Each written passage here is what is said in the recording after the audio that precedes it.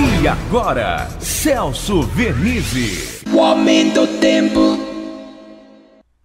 Olá, amiga, olá, amigo. Mais um dia em que nuvens estarão aí indo e vindo, mas tem mais sol hoje do que ontem e vamos ter elevação maior das temperaturas também. Aquece um pouco mais.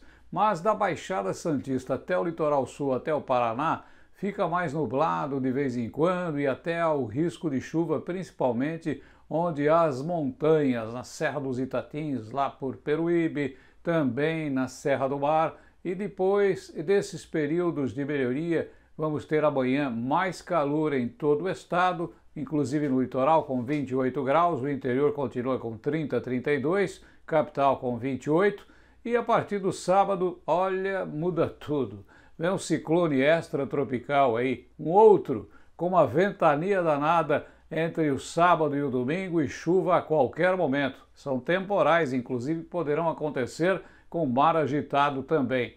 Então o tempo vai mudar. A gente disse, né? Muita variação nas condições do tempo e é o que vai prevalecer daqui para frente até o final de semana, inclusive com risco de temporais fortes entre sábado e domingo, ventania também. Um abraço a todos. O aumento do tempo.